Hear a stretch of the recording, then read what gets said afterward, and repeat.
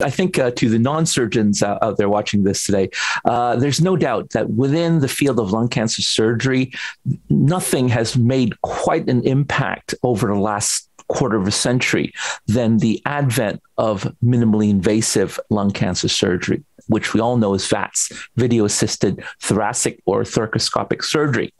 However, VATS itself is not new. This is old news. I mean, it's been around for 20 odd years now, almost uh, 30 years.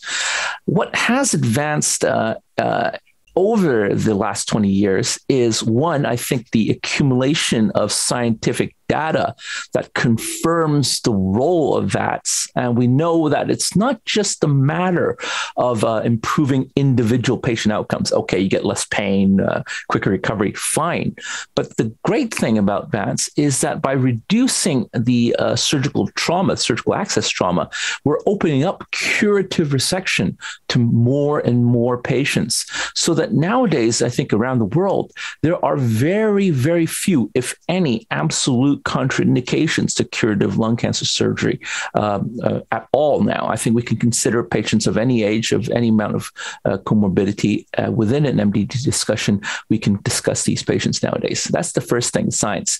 The other thing, of course, is the um, uh, uh, the the improvement in the surgery itself. Now you think, okay, we've got very minimally invasive keyhole surgery already. How can we make it better? Well, two things technique and technology. In terms of technology, um, uh, the the tools that surgeons have today compared to just ten years ago, wow, huge difference already. So we can um, uh, not only have better uh, video systems, better resection systems, energy devices to make surgery a lot easier and safer for patients, uh, but we can also help identify the small lesions we see nowadays. Uh, for example, during lung cancer screening. So these small lesions that traditionally are very hard to detect during keyhole surgery, we can now very precisely locate for good surgery. In terms of technique, um, well, traditionally, we used to do keyhole surgery using three, sometimes even four wounds. We've cut that back now, and now we can do a curative early stage lung cancer resection through, for example, just one single port that size.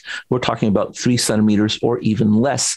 And you can imagine by limiting the surgical access uh, trauma to such a degree, the um, morbidity inflicted on the patient is at its lowest ever level.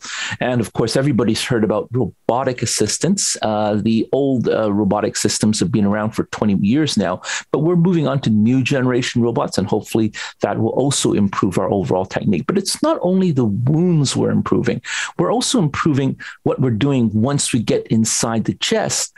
So uh, we're uh, now moving into the era where more and more we're doing sublobar sections. In the past, as we all know, we'd remove as surgeons a lobe of the lung that has a cancer.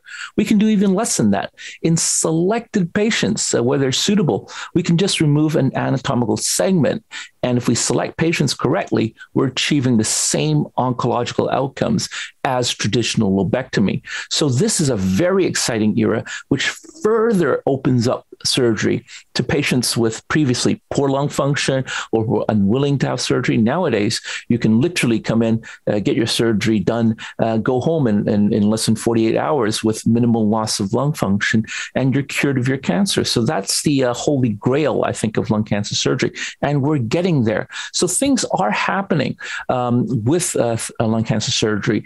And I think it really behooves us as thoracic surgeons to bring some of these advances to the MDT uh, so that our uh, oncology colleagues, both medical and radiation oncology colleagues, realize that uh, surgery is not the scary option that uh, we used to think of. It's not that bad. It's actually uh, a very quick, simple procedure with very, very good and improving outcomes.